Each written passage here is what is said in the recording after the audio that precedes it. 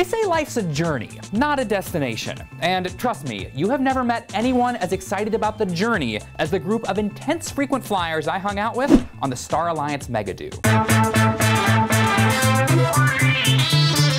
These days, the question isn't just what's in your wallet, it's who.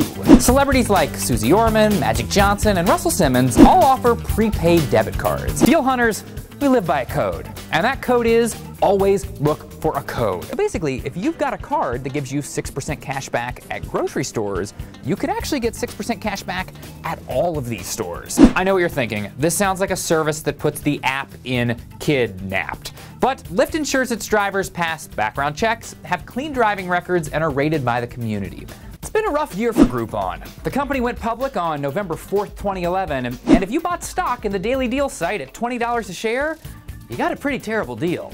Now it's trading closer to $5 a share, or as Groupon might put it, 75% off. Both companies make the case that having your kid hang out alone with their face buried in a tablet is beneficial. As a matter of fact, it makes them independent. It was perfect for her. She felt super independent. I think it would allow him to kind of feel like a little bit more independent. So I just got to San Francisco I don't have a place to stay. But I do have my phone, so I'm gonna put the Hotel Tonight app to the test. When you travel, credit cards give you access to priceless experiences everywhere you wanna be, but don't leave home without contacting your bank because it pays to discover how your card deals with foreign charges.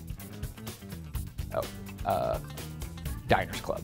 Ah, you think darkness is your ally. One of the best features of Delta SkyMiles is that they never expire. Unless, of course, you expire. Last month, Delta released a new set of program rules that stipulate that your miles die when you die. Most of the time, we don't have much information as consumers. We know prices, but we don't typically know where the money actually goes.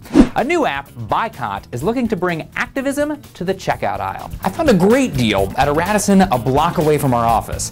Now, I have no reason to stay here, but I'm going to earn a free night that I can use at a more expensive hotel next year, potentially saving hundreds of dollars. McCain thinks you should be able to pay for channels a la carte. If you only watch Lifetime, Spike, ABC Family, VH1 Soul, and Logo, you should only have to pay for those channels. Also, who are you? Now, I have no idea if any of this stuff is any good, as a matter of fact, I don't really know what most of this stuff is. Black labeled detox, Arbutin and caviar extract, pore minimizing, Sicilian orange extract, Hypnôse Drama. But I do know something must be working because there are tons of businesses out there all trying to do the same thing. And one of the coolest features is one you can't actually see. Most cabins are pressurized at 8,000 feet. The 787 is pressurized to 6,000 feet, meaning you let a lot more oxygen in. The last thing I want to do the day after Thanksgiving is wait in a long line in the cold and have someone knock my wig off.